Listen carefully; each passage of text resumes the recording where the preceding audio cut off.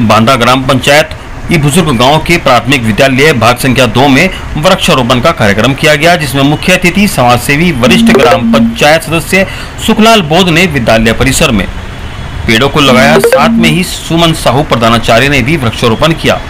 सुखलाल बौद्ध पूर्व वरिष्ठ ग्राम पंचायत सदस्य ने लोगों को जागरूक करते हुए बताया कि सभी लोगों को अपने आसपास खेतों, प्लाट आदि की जगह में अधिक से अधिक पेड़ पौधों को लगाना चाहिए, जिससे शुद्ध ऑक्सीजन मिलती रहे।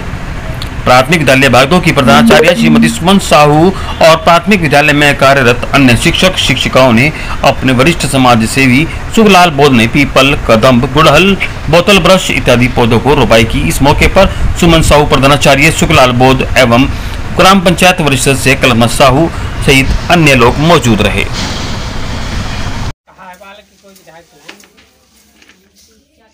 तो पैसे दे देंगे। यहाँ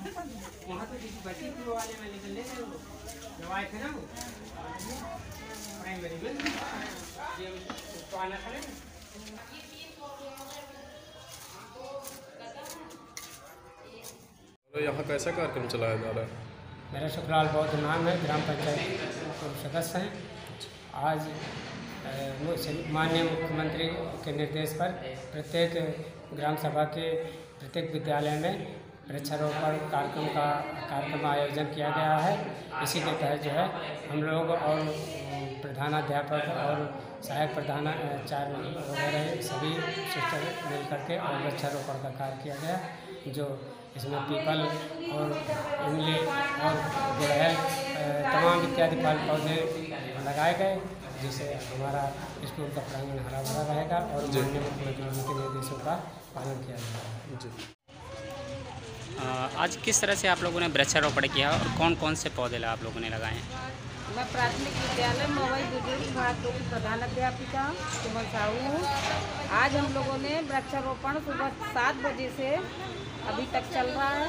इसमें हमने बोतल ब्रश और कदम कैथी का पेड़, कटहल और पीपल, आंवला और अनार ऐसे करके हम लोगों ने आठ पेड़ों, पेड़ लगाए हमारे विद्यालय को आठ पेड़ मिले हुए और छोटे छोटे हम लोग घर से लाए हैं, जैसे गुड़हल है, चमेली है, चांदनी है, ये हम लोगों ने अपने मन से लगाए